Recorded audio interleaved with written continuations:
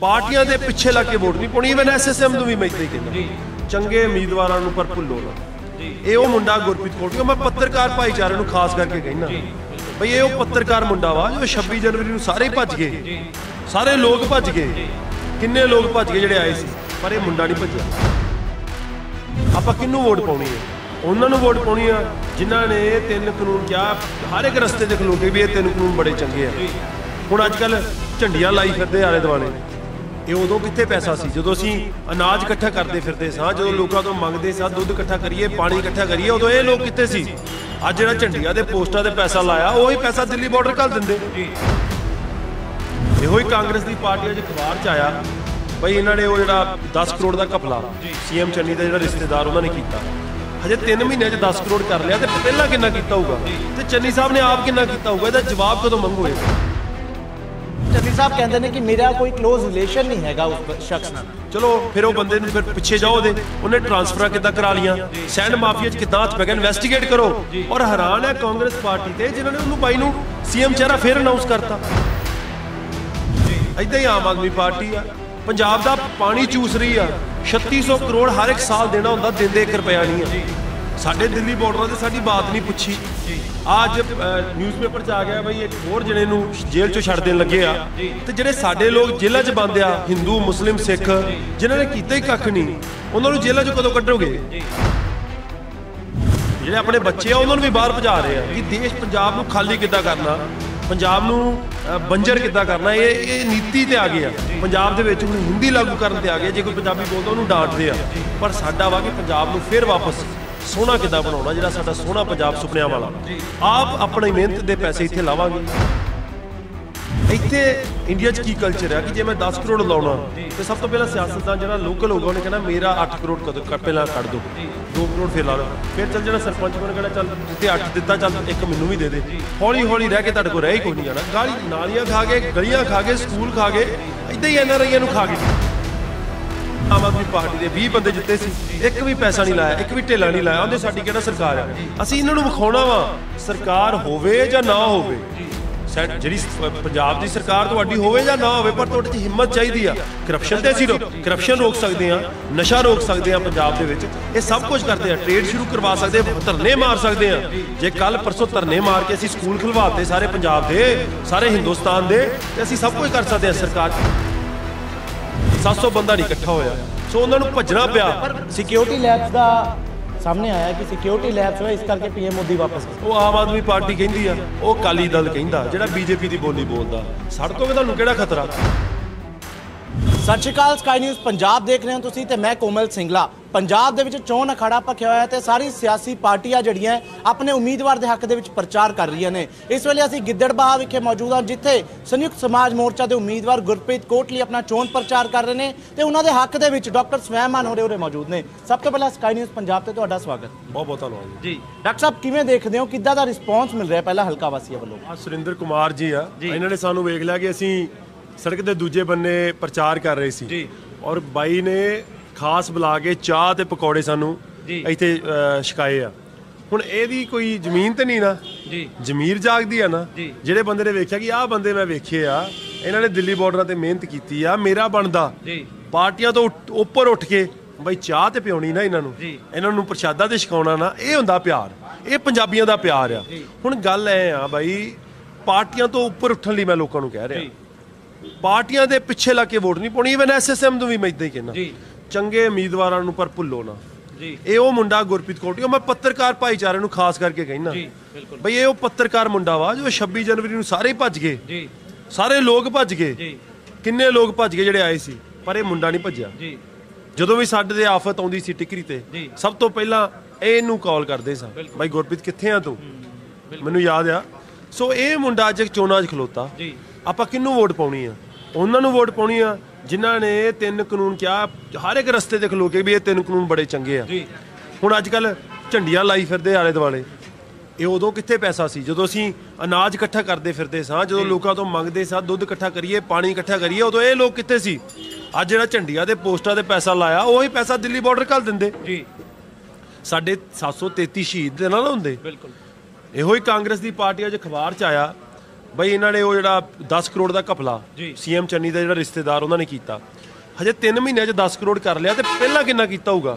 ਤੇ ਚੰਨੀ ਸਾਹਿਬ ਨੇ ਆਪ ਕਿੰਨਾ ਕੀਤਾ ਹੋਊਗਾ? ਇਹਦਾ ਜਵਾਬ ਕਦੋਂ ਮੰਗੋਗੇ? ਚੰਨੀ ਸਾਹਿਬ ਕਹਿੰਦੇ ਨੇ ਕਿ ਮੇਰਾ ਕੋਈ ক্লোਜ਼ ਰਿਲੇਸ਼ਨ ਨਹੀਂ ਹੈਗਾ ਉਸ ਸ਼ਖਸ ਨਾਲ। ਚਲੋ ਫਿਰ ਉਹ ਬੰਦੇ ਨੂੰ ਫਿਰ ਪਿੱਛੇ ਜਾਓ ਉਹਦੇ। ਉਹਨੇ ਟਰਾਂਸਫਰਾਂ ਕਿੱਦਾਂ ਕਰਾ ਲੀਆਂ ਸੈਂਡ ਮਾਫੀਆ 'ਚ ਕਿੱਦਾਂ ਹੱਥ ਪੈ ਗਿਆ? ਇਨਵੈਸਟੀਗੇਟ ਕਰੋ। ਔਰ ਹੈਰਾਨ ਹੈ ਕਾਂਗਰਸ ਪਾਰਟੀ ਤੇ ਜਿਨ੍ਹਾਂ ਨੇ ਉਹਨੂੰ ਬਾਈ ਨੂੰ ਸੀਐਮ ਚਿਹਰਾ ਫਿਰ ਅਨਾਉਂਸ ਕਰਤਾ। ਇਦਾਂ ਹੀ ਆਮ ਆਦਮੀ ਪਾਰਟੀ ਆ। ਪੰਜਾਬ ਦਾ ਪਾਣੀ ਚੂਸ ਰਹੀ ਆ। 3600 ਕਰੋੜ ਹਰ ਇੱਕ ਸਾਲ ਦੇਣਾ ਹੁੰਦਾ ਦਿੰਦੇ 1 ਰੁਪਿਆ ਨਹੀਂ ਆ। ਸਾਡੇ ਦਿੱਲੀ ਬਾਰਡਰਾਂ ਤੇ ਸਾਡੀ ਬਾਤ ਨਹੀਂ ਪੁੱਛੀ। ਜੀ। ਅੱਜ ਨਿਊਜ਼ਪੇਪਰ 'ਚ ਆ ਗਿਆ ਬਈ ਇੱਕ ਹੋਰ ਜਣੇ ਨੂੰ ਜੇਲ੍ਹ 'ਚੋਂ ਛੱਡ ਦੇਣ ਲੱਗੇ ਆ। ਤੇ ਜਿਹੜੇ ਸਾਡੇ ਲੋਕ ਜੇਲ੍ਹਾਂ 'ਚ ਬੰਦ ਆ ਹਿੰਦੂ ਮੁਸਲਿਮ ਸਿੱਖ ਜਿਨ੍ਹਾਂ ਨੇ ਕੀਤਾ ਹੀ ਕੱਖ ਨਹੀਂ ਉਹਨਾਂ ਨੂੰ ਜੇਲ੍ਹਾਂ 'ਚੋਂ ਕਦੋਂ ਕੱਢੋਗੇ? ਜੀ। ਸੋ ਪਰ ਰਾਮ ਰਹੀਮ ਹੋਰਾਂ ਨੂੰ ਵੀ ਜਿਹੜਾ ਹੈ 21 ਦਿਨ ਦੀ ਪੈਰੋਲ ਤੇ ਭੇਜਿਆ ਜਾ ਰਿਹਾ ਕੀ ਕਾਰਨ ਮੰਨਦੇ ਵੇਖੋ ਜਿਹੜਾ ਇਹ ਤੇ ਸਾਰਿਆਂ ਨੂੰ ਪਤਾ ਜੀ ਵੇਖੋ ਮੈਂ ਕਨਸਟੀਟਿਊਸ਼ਨ ਵਿੱਚ ਰਹਿਣ ਲਈ ਕਹਿ ਰਿਹਾ। ਜੇ। ਤੁਸੀਂ ਜੇ ਜੋ ਵੀ ਕਰ ਰਹੇ ਹੋ ਕਨਸਟੀਟਿਊਸ਼ਨ ਦੇ ਵਿੱਚ ਆ ਦੈਨ ਮੈਂ ਕਹਿੰਦਾ ਕਿ ਕਨਸਟੀਟਿਊਸ਼ਨ ਸਾਰਿਆਂ ਲਈ ਸੇਮ ਚਾਹੀਦਾ। ਜਿਹੜੇ ਲੋਕ ਦਿੱਲੀ ਦੇ ਦਿੱਲੀ ਦੇ ਜੇਲ੍ਹਾਂ 'ਚ ਬੰਦ ਆ ਉਹ ਵੀ ਇਹ ਕਨਸਟੀਟਿਊਸ਼ਨ ਦੇ ਥੱਲੇ ਆਉਂਦੇ ਆ। ਜਿਹੜੇ ਪੰਜਾਬ ਦੀਆਂ ਜੇਲ੍ਹਾਂ 'ਚ ਬੰਦ ਆ ਉਹ ਵੀ ਇਹ ਕਨਸਟੀਟਿਊਸ਼ਨ ਤੇ ਆਉਂਦੇ ਆ। ਉਹਨਾਂ ਨੂੰ ਆਪਾਂ ਕਦੋਂ ਬਾਹਰ ਕੱਢਣਾ? ਉਹਨਾਂ ਨੂੰ ਆਪਾਂ ਕਦੋਂ ਪਰੋਲ ਦੇਣਾ? ਮੈਂ ਤੇ ਕਹਿੰਦਾ ਹਰ ਇੱਕ ਲਈ ਹਰ ਇੱਕ ਇਨਸਾਨ ਲਈ ਰੂਲ ਸੇਮ ਚਾਹੀਦਾ। ਪਰ ਜਿੱਦਾਂ ਇਹ ਸਿਆਸਤਦਾਨਾਂ ਨੇ ਬਣਾ ਲਿਆ ਕੰਮ ਮੈਂ ਕਹਿੰਦਾ ਸਾਡੀ ਅਣਖ ਨੂੰ ਅਣਖ ਨੂੰ ਵਗਾਰਨ ਦਾ ਆ। ਅੱਜ ਵੀ ਜਾਗ ਜੀਏ। ਕਿੰਨਾ ਦੇ ਝੰਡੇ ਚੁੱਕੀ ਫਿਰਦੇ ਹੋ? ਜਿਨ੍ਹਾਂ ਨੇ ਸਾਨੂੰ ਰੋਲਤਾ ਦਿੱਲੀ ਬਾਰਡਰਾਂ ਤੇ 733 ਸ਼ਹੀਦ ਕਰਤੇ। ਜਿਨ੍ਹਾਂ ਨੇ ਆਪਾਂ ਨੂੰ ਇਹ ਮਜਬੂਰ ਕਰਤਾ ਆਪਣੇ ਗੋਡਿਆਂ ਤੇ ਲੈ ਆਂਦਾ ਸੀ। ਪਰ ਇਹ ਗੁਰਪ੍ਰੀਤ ਕੋਟਲੀ ਵਰਗੇ ਮੁੰਡੇ ਆ ਸੁਖਮਨਦੀਪ ਢਿੱਲੋਂ ਵਰਗੇ ਮੁੰਡੇ ਅੱਜ ਆ ਹੋਰ ਨੌਜਵਾਨ ਜਿਹੜੇ ਚੰਗੇ ਉਮੀਦਵਾਰ ਖੜੇ ਨੇ ਅੱਜ ਸਾਡਾ ਬਣਦਾ ਵਾ ਨਹੀਂ ਤੇ ਇਤਿਹਾਸ ਪੁੱਛੂਗਾ। ਤੁਸੀਂ ਉਦੋਂ ਕਿੱਥੇ ਸੁੱਤੇ ਸੀ? ਜਦੋਂ ਇਹ ਮੁੰਡੇ ਅੱਗੇ ਆਏ ਸੀ। ਆ ਕੁੜੀਆਂ ਅੱਗੇ ਆਈਆਂ ਸੀ। ਗੁਰਪ੍ਰੀਤ ਕੋਟਲੀ ਹੋਰਾਂ ਨਾਲ ਅਸੀਂ ਗੱਲਬਾਤ ਕੀਤੀ ਉਹਨਾਂ ਨੇ ਦੱਸਿਆ ਕਿ ਡਾਕਟਰ ਸਵੈਮਨ ਹੋਰਾਂ ਨੇ ਵਿਸ਼ਵਾਸ ਦਿਵਾਇਆ ਹੈ ਕਿ ਚੋਣਾਂ ਜਿੱਤਣ ਤੋਂ ਬਾਅਦ 20 ਕਰੋੜ ਦੀ ਜਿਹੜੀ ਹੈ ਗਿੱਦੜਬਾਹੇ ਨੂੰ ਵਿਕਾਸ ਕੀਤੇ ਜਾਣਗੇ। ਕਿਵੇਂ ਕਰੋਗੇ? ਮੈਂ ਭਾਈ ਮੇਰੀ ਇੱਕ ਡਾਕਟਰ ਦੀ ਨਾ ਕਾਰਡੀਓਲੋਜਿਸਟ ਦੀ ਕਮਾਈ ਸਟਾਰਟਿੰਗ ਜੀ। 5-6 ਕਰੋੜ ਦੇ ਕੋਲ ਹੁੰਦੀ ਹੈ ਅਮਰੀਕਾ 'ਚ। ਜੀ। ਸੋ ਤੁਸੀਂ ਆਪੇ ਵੇਖ ਲਓ ਕੋਈ ਔਖੀ ਗੱਲ ਨਹੀਂ। ਮੇਰੀ ਮੇਰੀ ਵਾਈਫ ਮੇਰੇ ਤੋਂ ਤਿੰਨ ਗੁਣਾ ਵੱਧ ਕਮਾਉਂਦੀ ਆ। ਭਾਬੀ ਡਾਕਟਰ ਆ। ਬ੍ਰਦਰ ਸੋਹਣੀ ਜੌਬ ਕਰਦਾ। ਮਾਂ ਪਿਓ ਦੀ ਚੰਗੀ ਪ੍ਰਾਪਰਟੀ ਆ। ਸੋ ਸਾਡੇ ਲਈ ਇਹ ਔਖੀ ਕੰਮ ਨਹੀਂ ਸੇਵਾ ਦਾ। ਆਪਣੀ ਆਪਣੀ ਜੇਬ ਚੋਂ ਲਾਉਂਗੇ ਗਿੱਦੜਬਾਹੇ ਤੇ ਪੈਸਾ? ਕਿਉਂ ਨਹੀਂ? ਸਭ ਤੋਂ ਪਹਿਲਾਂ ਬੰਦੇ ਨੂੰ ਆਪਣੇ ਆਪ ਕੰਮ ਕਰਨਾ ਪਊਗਾ। ਸੋ ਮੈਂ ਇੱਕ ਅਸੀਂ ਇੱਕ ਮੁਹਿੰਮ ਸ਼ੁਰੂ ਕਰਨਾ ਚਾਹੁੰਦੇ ਆ ਵੇਖੋ ਐਨ ਆਰ ਆਈ ਵੀਰਾਂ ਨੂੰ ਇਸ ਵੇਲੇ ਭਜਾ ਰਹੇ ਬਾਹਰ। ਜਿਹੜੇ ਆਪਣੇ ਬੱਚੇ ਆ ਉਹਨਾਂ ਨੂੰ ਵੀ ਬਾਹਰ ਭਜਾ ਰਹੇ ਆ ਕਿ ਦੇਸ਼ ਪੰਜਾਬ ਨੂੰ ਖਾਲੀ ਕਿੱਦਾਂ ਕਰਨਾ? ਪੰਜਾਬ ਨੂੰ ਬੰਜਰ ਕਿੱਦਾਂ ਕਰਨਾ? ਇਹ ਇਹ ਨੀਤੀ ਤੇ ਆ ਗਏ ਆ। ਪੰਜਾਬ ਦੇ ਵਿੱਚ ਹੁਣ ਹਿੰਦੀ ਲਾਗੂ ਕਰਨ ਤੇ ਆ ਗਏ ਜੇ ਕੋਈ ਪੰਜਾਬੀ ਬੋਲਦਾ ਉਹਨੂੰ ਡਾਂਟਦੇ ਆ। ਪਰ ਸਾਡਾ ਵਾ ਕਿ ਪੰਜਾਬ ਨੂੰ ਫਿਰ ਵਾਪਸ ਸੋਹਣਾ ਕਿੱਦਾਂ ਬਣਾਉਣਾ ਜਿਹੜਾ ਸਾਡਾ ਸੋਹਣਾ ਪੰਜਾਬ ਸੁਪਨਿਆਂ ਵਾਲਾ। ਆਪ ਆਪਣੀ ਮਿਹਨਤ ਦੇ ਪੈਸੇ ਇੱਥੇ ਲਾਵਾਂਗੇ। ਫਿਰ ਐਸਾ ਪੰਜਾਬ ਦਵਾਂਗੇ ਕਿ ਲੋਕ ਤਾਵਲੇ ਵਾਪਸ ਡਾਕਟਰ ਆਉਣਗੇ ਸਾਹਿਬ ਕਦੋਂ ਲਾਉਂਗੇ? ਤੁਸੀਂ 20 ਕਰੋੜ ਦੀ ਗੱਲ ਕੀਤੀ ਵੀ ਗਿੱਦੜਬਾਹੇ ਦੇ ਵਿਕਾਸ ਤੇ ਖਰਚਾਂਗੇ। ਕਦ ਤੋਂ ਸ਼ੁਰੂ ਹੋਣ ਜਾ ਰਿਹਾ ਕੰਮ? ਸਾਡਾ ਇਹ ਆ ਕਿ ਗੁਰਪ੍ਰੀਤ ਕੋਟਲੀ ਦਾ ਜਿੱਤਣਾ ਬਹੁਤ ਜ਼ਰੂਰੀ ਆ। ਕਿਉਂਕਿ ਜੇ ਗੁਰਪ੍ਰੀਤ ਕੋਟਲੀ ਨਾ ਜਿੱਤਿਆ ਇੱਥੇ ਇੰਡੀਆ 'ਚ ਕੀ ਕਲਚਰ ਆ? ਕਿ ਜੇ ਮੈਂ 10 ਕਰੋੜ ਲਾਉਣਾ ਤੇ ਸਭ ਤੋਂ ਪਹਿਲਾਂ ਸਿਆਸਤਦਾਨ ਜਿਹੜਾ ਲੋਕਲ ਹੋਊਗਾ ਉਹਨੇ ਕਹਿਣਾ ਮੇਰਾ 8 ਕਰੋੜ ਕਦ ਕ- ਪਹਿਲਾਂ ਕੱਢ ਦਿਓ 2 ਕਰੋੜ ਫਿਰ ਲਾ ਲਓ। ਫਿਰ ਚੱਲ ਜਾਣਾ ਸਰਪੰਚ ਕੋਲ ਕਹਿਣਾ ਚੱਲ ਜਿੱਤੇ 8 ਦਿੱਤਾ ਚੱਲ ਇੱਕ ਮੈਨੂੰ ਵੀ ਦੇ ਦੇ। ਹੌਲੀ ਹੌਲੀ ਰਹਿ ਕੇ ਤੁਹਾਡੇ ਕੋਲ ਰਹਿ ਹੀ ਕੋਈ ਨਹੀਂ ਜਾਣਾ। ਗਾਲੀ ਨਾਲੀਆਂ ਖਾ ਗਏ ਗਲੀਆਂ ਖਾ ਗਏ ਸਕੂਲ ਖਾ ਗਏ ਇਦਾਂ ਹੀ ਐਨਆਰਆਈਆਂ ਨੂੰ ਖਾ ਪਰ ਗਏ ਲੋੜ ਕੀ ਹੈ ਸਰ? ਜਦ ਸਰਕਾਰ ਦੇ ਖਜ਼ਾਨੇ 'ਚ ਪੈਸਾ ਪਿਆ ਹੈ ਉਹਨੂੰ ਜੇ ਸਹੀ ਢੰਗ ਨਾਲ ਯੂਜ਼ ਕੀਤਾ ਜਾਵੇ ਤੁਹਾਨੂੰ ਲੱਗਦਾ ਕਿ ਇਸੇ ਲਈ ਇਸੇ ਲਈ ਤੇ ਸਰਕਾਰ ਬਣਾਉਣਾ ਚਾਹੁੰਦੇ ਆ। ਫਿਰ ਲੋੜ ਨਹੀਂ ਪੈਣੀ। ਪਰ ਪ੍ਰੋਬਲਮ ਕੀ ਆਉਂਦੀ ਹੈ? ਜਦੋਂ ਆਮ ਆਦਮੀ ਪਾਰਟੀ ਦੇ 20 ਬੰਦੇ ਜਿੱਤੇ ਸੀ ਇੱਕ ਵੀ ਪੈਸਾ ਨਹੀਂ ਲਾਇਆ ਇੱਕ ਵੀ ਢੇਲਾ ਨਹੀਂ ਲਾਇਆ ਉਹਦੇ ਸਾਡੀ ਕਿਹੜਾ ਸਰਕਾਰ ਆ? ਅਸੀਂ ਇਹਨਾਂ ਨੂੰ ਵਿਖਾਉਣਾ ਵਾ ਸਰਕਾਰ ਹੋਵੇ ਜਾਂ ਨਾ ਹੋਵੇ। ਸੈ- ਜਿਹੜੀ ਸ- ਪ- ਪੰਜਾਬ ਦੀ ਸਰਕਾਰ ਤੁਹਾਡੀ ਹੋਵੇ ਜਾਂ ਨਾ ਹੋਵੇ ਪਰ ਤੁਹਾਡੇ 'ਚ ਹਿੰਮਤ ਚਾਹੀਦੀ ਆ। ਕਰਪਸ਼ਨ ਤੇ ਅਸੀਂ ਕਰਪਸ਼ਨ ਰੋਕ ਸਕਦੇ ਆ ਨਸ਼ਾ ਰੋਕ ਸਕਦੇ ਆ ਪੰਜਾਬ ਦੇ ਵਿੱਚ। ਇਹ ਸਭ ਕੁਝ ਕਰਦੇ ਆ। ਟ੍ਰੇਡ ਸ਼ੁਰੂ ਕਰਵਾ ਸਕਦੇ ਆ ਧਰਨੇ ਮਾਰ ਸਕਦੇ ਆ। ਜੇ। ਕੱਲ ਪਰਸੋਂ ਧਰਨੇ ਮਾਰ ਕੇ ਅਸੀਂ ਸਕੂਲ ਖਲਵਾਤੇ ਸਾਰੇ ਪੰਜਾਬ ਦੇ ਸਾਰੇ ਹਿੰਦੁਸਤਾਨ ਦੇ ਤੇ ਅਸੀਂ ਸਭ ਕੁਝ ਕਰ ਸਕਦੇ ਆ ਸਰਕਾਰ 'ਚ। ਮੇਰੇ ਵੇਖੋ ਜਦੋਂ ਅੱਜ ਆਏ ਸੀ ਨਾ ਸਾਡੀ ਨੀਤੀ ਇਹ ਸੀ ਮੇਰੀ ਕਿ ਕੋਈ ਵੀ ਯੂਨੀਅਨ ਨਾਲ ਇਲੈਕਸ਼ਨ ਲੜੇ ਬੰਦੇ 117 ਅੱਗੇ ਕਰੀਏ ਮਤਲਬ ਤੁਸੀਂ ਕੈਂਡੀਡੇਟਸ ਨੂੰ ਜ਼ਿਆਦਾ ਇੰਪੋਰਟੈਂਸ ਦਿੰਦੇ ਹੋ ਇਨਸਟੈਡ ਆਫ ਪਾਰਟੀ ਕੈਂਡੀਡੇਟਸ ਨੂੰ ਸਭ ਤੋਂ ਜ਼ਿਆਦਾ ਇੰਪੋਰਟੈਂਸ ਦਿਓ। ਚੰਗੇ ਕਿਰਦਾਰ ਦੇ ਲੋਕ ਖਾਸ ਕਰਕੇ ਮੈਂ ਗੁਰਪ੍ਰੀਤ ਕੋਟਲੀ ਦਾ ਬਾਰ-ਬਾਰ ਨਾਮ ਲੈਂਦਾ। ਜਾਂ। ਸੁਖਮਨਦੀਪ ਢਿੱਲੋਂ ਦਾ ਬਾਰ-ਬਾਰ ਲੈਂਦਾ। ਇਹਨਾਂ 'ਚ ਕੁਝ ਖਾਸੀਅਤ ਆ। ਇਹਨਾਂ ਨੇ ਖੂਨ ਡੋਲਿਆ 12 ਮਹੀਨੇ ਤੁਹਾਡੇ ਲਈ ਬਜ਼ੁਰਗੋ। ਤੇ ਅੱਜ ਤੁਸੀਂ ਇਹਨਾਂ ਨੂੰ ਕੱਲਿਆ ਨਹੀਂ ਛੱਡ ਸਕਦੇ। ਇਹ ਤਾਂ ਮੰਨ ਤੁਸੀਂ ਕਿਹਾ ਕੈਂਡੀਡੇਟਸ ਨੂੰ ਜ਼ਿਆਦਾ ਇੰਪੋਰਟੈਂਸ ਦਿਓ। ਲੱਗਦਾ ਕਿ ਬੀਜੇਪੀ ਦੇ ਵਿੱਚ ਕੋਈ ਅਜਿਹਾ ਕੈਂਡੀਡੇਟ ਹੋਏਗਾ ਜਿਹਨੂੰ ਇੰਪੋਰਟੈਂਸ ਦੇਣੀ ਬੰਦੀ ਹੈ ਪੰਜਾਬ ਭਾਈ ਜੀ ਬੀਜੇਪੀ ਨੂੰ ਤੇ ਦੇ ਹੀ ਨਹੀਂ ਸਕਦੇ। ਜਿਨ੍ਹਾਂ ਨੇ ਤੁਹਾਨੂੰ ਰੋਲਤਾ 733 ਸ਼ਹੀਦ ਕਰਤੇ। ਤੁਹਾਨੂੰ ਰੋਲਣ ਤੇ ਆ ਗਏ ਆ ਤੁਹਾਡੀ ਬੋਲੀ ਰੋਲਤੀ। ਇੱਥੇ ਧਰਮ ਦੀ ਰਾਜਨੀਤੀ ਕਰਦੇ ਆ। ਉਹ ਸਭ ਤੋਂ ਪਹਿਲਾਂ ਆਈਡੀਓਲੋਜੀ ਵੀ ਵੇਖਣੀ ਪੈਂਦੀ ਆ ਜਿੱਦਾਂ ਆਮ ਆਦਮੀ ਪਾਰਟੀ ਦੀ ਆ ਕਿ ਸਾਡੇ ਪੰਜਾਬ ਦੇ ਪਾਣੀ ਤੁਸੀਂ ਕਿਉਂ ਚੋਰੀ ਕਰ ਰਹੇ ਹੋ? ਉਹਨਾਂ ਲੋਕਾਂ ਨੂੰ ਜੇਲ੍ਹਾਂ 'ਚ ਕਿਉਂ ਬੰਦ ਕੀਤਾ? ਸਾਡੀ ਬੋਲੀ ਤੁਸੀਂ ਹਿੰਦੀ ਕਿਉਂ ਲੱਗ ਇਦਾਂ ਹੀ ਪਾਰਟੀਆਂ ਦੀ ਸਭ ਤੋਂ ਪਹਿਲਾਂ ਆਈਡੀਓਲੋਜੀ ਨੂੰ ਕੁਐਸਚਨ ਕਰੋ। ਜੇ ਚੰਗੇ ਉਮੀਦਵਾਰ ਹੋਣਗੇ ਜਦੋਂ ਆਈਡੀਓਲੋਜੀ ਦੇ ਆਨਸਰ ਆ ਗਏ ਸਾਨੂੰ ਪਤਾ ਲੱਗ ਗਿਆ ਨਹੀਂ ਆਮ ਆਦਮੀ ਪਾਰਟੀ ਇੱਥੇ ਪੰਜਾਬੀ ਨਹੀਂ ਖਤਮ ਕਰੂਗੀ। ਸਾਡੇ ਪਾਣੀਆਂ ਦੇ ਪੈਸੇ ਦਊਗੀ। ਉਹ ਜਿਹੜੇ ਲੋਕ ਜੇਲ੍ਹਾਂ ਚ ਬੰਦੇ ਉਹਨਾਂ ਨੂੰ ਰਿਹਾ ਕਰੂਗੀ? ਰੇਪ ਜਿਹੜਾ ਉੱਥੇ ਦਿੱਲੀ ਚ ਹੁੰਦਾ ਉਹਨਾਂ ਨੂੰ ਨਿਆਂ ਦਿਵਾਊਗੀ। ਅਗਲੀ ਵਾਰੀ ਸ਼ਹੀਨ ਬਾਗ ਵਰਗੀ ਹਤਕਾ ਹੁੰਦੀ ਉੱਥੇ ਅਰਵਿੰਦ ਕੇਜਰੀਵਾਲ ਬੋਲੂਗਾ। ਦਿੱਲੀ ਵਿੱਚ ਧਰਨੇ ਵੱਜਦੇ ਉੱਥੇ ਅਰਵਿੰਦ ਕੇਜਰੀਵਾਲ ਫੇਰ ਫੇਰ ਜਾ ਕੇ ਕੈਂਡੀਡੇਟ ਦੀ ਵਾਰੀ ਆਊਗੀ। ਹਾਂ ਤੇਰੀ ਆਈਡੀਓਲੋਜੀ ਠੀਕ ਹੈ ਠੀਕ ਹੈ ਫੇਰ ਮੈਂ ਸਪੋਰਟ ਕਰੂੰਗਾ। ਪਰ ਐਂਡ ਦੇ ਵਿੱਚ ਤਾਂ ਹੁਣ ਜਿਹੜਾ ਹੈਗਾ ਕਿਸਾਨਾਂ ਦੀ ਮੰਗ ਮੰਨੀ ਹੈ ਨਾ ਬੀਜੇਪੀ ਨੇ ਜਿਹੜੇ ਬਿੱਲ ਨੇ ਉਹ ਵਾਪਸ ਲਏ ਨੇ। ਹਾਂਜੀ ਯੂਪੀ ਇਲੈਕਸ਼ਨ ਹਾਰਦੇ ਸੀ।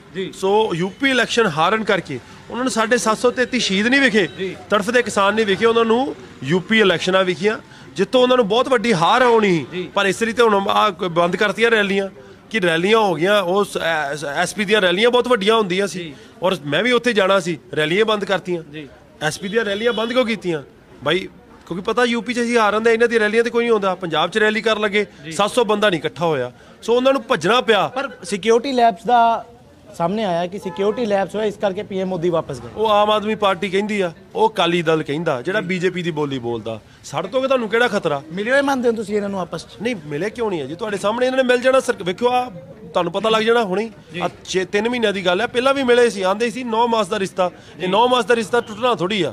ਔਰ ਜਿਹੜੇ ਲੋਕ ਆਰਐਸਐਸ ਦੀ ਥਿਊਰੀ ਚਾਹੁੰਦੇ ਪੰਜਾਬ ਚ ਅਪਲਾਈ ਉਹ ਇਹਨਾਂ ਦੇ ਝੰਡੇ ਚੁੱਕੀ ਜਾਓ। ਜੇਕਰ ਥੋੜਾ ਸਮਾਂ ਜ਼ਿਆਦਾ ਨਾ ਲੈਂਦਾ ਹੋਇਆ ਮੇਰੇ ਆਖਰੀ ਸਵਾਲ ਨੇ। ਤੁਸੀਂ ਕੈਂਡੀਡੇਟਰ ਦੀ ਗੱਲ ਕੀਤੀ ਸਾਨੂੰ ਬਹੁਤ ਚੰਗੀ ਲੱਗੀ। ਜੇਕਰ ਕਾਂਗਰਸ ਦੀ ਗੱਲ ਕਰੀਏ ਕਾਂਗਰਸ ਦੇ ਵਿੱਚ ਕੋਈ ਅਜਿਹਾ ਕੈਂਡੀਡੇਟ ਤੁਹਾਨੂੰ ਲੱਗਦਾ ਹੈ ਜਿਹੜਾ ਮਤਲਬ ਪਾਰਟੀ ਪੱਧਰ ਤੋਂ ਉੱਪਰ ਉੱਠ ਕੇ ਚੰਗਾ ਵਿਕਾਸ ਕਰ ਸਕਦਾ ਹੈ? ਨਹੀਂ ਚੰਗੇ ਮੁੰਡੇ ਹੈਗੇ ਆ। ਉਹਨਾਂ ਦੇ ਵੀ ਚੰਗੇ ਕੁੜੀਆਂ ਮੁੰਡੇ ਉਹਨਾਂ ਦੇ ਹਰ ਇੱਕ ਪਾਰਟੀ 'ਚ ਹੈਗੇ ਆ। ਮੈਂ ਮੈਂ ਇਹਦੇ ਵਿੱਚੋਂ ਗਰੇਜ ਨਹੀਂ ਕਰਦਾ। ਐਸੇ ਲੋਕ ਹੈਗੇ ਆ ਜਿਹੜੇ ਚੰਗਾ ਚਾਹੁੰਦੇ ਆ। ਵੇਖੋ ਕੋਈ ਵੀ ਬੰਦਾ ਨਾ ਜ਼ਿਆਦਾਤਰ ਸਿਆਸਤ ਵਿੱਚ ਇਸ ਲਈ ਆਉਂਦਾ ਕਿ ਮੈਂ ਪੰਜਾਬ ਲਈ ਭਲਾ ਚਾਹੁੰਦਾ। ਹਰ ਇੱਕ ਪਾਰਟੀਆਂ 'ਚ ਚੰਗੇ ਇਨਸਾਨ ਹੈਗੇ ਆ। ਮੈਂ ਇਸ ਲਈ ਜਦੋਂ ਅਸੀਂ ਦਿੱਲੀ ਤੋਂ ਆਏ ਸਾਂ ਮੈਂ ਇੱਕ ਵੱਡੀ ਅਪੀਲ ਕੀਤੀ ਸੀ। ਬਈ ਆਪਾਂ 117 ਚਿਹਰੇ ਲੱਭੀਏ। ਔਰ ਮੈਨੂੰ ਉਮੀਦ ਸੀ 117 ਚਿਹਰੇ ਪਿੱਛੇ ਸਾਰੀਆਂ ਪਾਰਟੀਆਂ ਦੇ ਚੰਗੇ ਲੋਕ ਉੱਥੋਂ ਆਪਣਾ ਰੈਜ਼ਿਗਨੇਸ਼ਨ ਦੇ ਕੇ ਸਾਡੇ ਨਾਲ ਜੁੜ ਜਾਣਗੇ। ਕਿਉਂਕਿ ਉਹਨਾਂ ਨੂੰ ਪੰਜਾਬ ਲਈ ਦਰਦ ਆ। ਪਰ ਉਹ ਚਲੋ ਕਿਤੇ ਨਾ ਕਿਤੇ ਸਾਡੇ ਕੋਲ ਗਲਤੀਆਂ ਹੋ ਗਈਆਂ ਉਹ ਉਹ ਚੀਜ਼ ਨਹੀਂ ਹੋ ਪਾਈ। ਪਰ ਬੜੇ ਲੋਕ ਇਹਨਾਂ ਦੇ ਅੰਡਰਗਰਾਉਂਡ ਸਾਡੀ ਪਾਰਟੀ ਵਿੱਚ ਆਏ ਆ ਅਜੇ ਵੀ ਗੱਲਬਾਤ ਰੱਖਦੇ ਆ। ਜਿੱਦਾਂ ਧਰਮਵੀਰ ਗਾਂਧੀ ਆ ਉਹਨਾਂ ਨੇ ਪਾਰਟੀ ਲਾਈਨ ਛੱਡ ਕੇ ਸਾਨੂੰ ਸਪੋਰਟ ਕੀਤੀ। ਇਦਾਂ ਬੜੇ ਲੋਕ ਨੇ ਅਕਾਲੀ ਦਲ ਦੇ ਵੀ ਆਮ ਆਦਮੀ ਪਾਰਟੀ ਵੀ ਜਿਨ੍ਹਾਂ ਨੇ ਜਿਨ੍ਹਾਂ ਨੂੰ ਆਈਡੀਓਲੋਜੀ ਸਮਝ ਲੱਗੀ ਆ ਕਿ ਅਸੀਂ ਇਹਨਾਂ ਦੇ ਨਾਲ ਲੱਗਣਾ ਵਾ। ਔਰ ਲੱਗਣ ਲਈ ਰੈਡੀ ਵੀ ਆ। ਕੁਝ ਹੁਣ ਲੱਗਣਗੇ ਕੁਝ ਇਲੈਕਸ਼ਨਾਂ ਤੋਂ ਬਾਅਦ ਰਲਣਗੇ। ਪਰ ਬਹੁਤ ਪੰਜਾਬ ਦੇ ਲੋਕ ਐਸੇ ਆ ਜਿਹੜੇ ਅਤਾਵਲੇ ਸਾਡੇ ਨਾਲ ਜੁੜਨਗੇ। ਜੀ ਬਹੁਤ ਬਹੁਤ ਧੰਨਵਾਦ। ਤਾਂ ਤੁਸੀਂ ਸੁਣਿਆ ਇਹ ਸਨ ਸਾਡੇ ਨਾਲ ਡਾਕਟਰ ਸਵੈਮਾਨ ਜਿਹੜੇ ਇਸ ਵੇਲੇ ਗਿੱਦੜਬਾਹਾ ਦੇ ਵਿੱਚ ਗੁਰਪ੍ਰੀਤ ਕੋਟਲੀ ਜਿਹੜੇ ਸੰਯੁਕਤ ਸਮਾਜ ਮੋਰਚਾ ਦੇ ਕੈਂਡੀਡੇਟ ਨੇ, ਉਹਨਾਂ ਦੇ ਹੱਕ ਦੇ ਵਿੱਚ ਪ੍ਰਚਾਰ ਕਰ ਰਹੇ ਨੇ। ਇਹਨਾਂ ਦੀ ਇੱਕ ਗੱਲ ਬੜੀ ਸਾਨੂੰ ਚੰਗੀ ਲੱਗੀ, ਜਿਹੜਾ ਇਹਨਾਂ ਨੇ ਕਿਹਾ ਕਿ ਪਾਰਟੀ ਪੱਧਰ ਤੋਂ ਉੱਤੇ ਉੱਠ ਕੇ ਜਿਹੜਾ ਹੈਗਾ ਕੈਂਡੀਡੇਟਾਂ ਨੂੰ ਵੇਖਦੇ ਹੋਏ ਪੰਜਾਬ ਦੇ ਲੋਕਾਂ ਨੂੰ ਵੋਟਾਂ ਪਾਣੀਆਂ ਚਾਹੀਦੀਆਂ ਨੇ। ਕੈਮਰਾ ਪਰਸਨ ਪਿਊਸ਼ ਦੇ ਨਾਲ ਕੋਮਲ ਸਿੰਘਲਾ ਸਕਾਈ ਨਿਊਜ਼, ਪੰਜਾਬ, ਗਿੱਦੜਬਾਹਾ।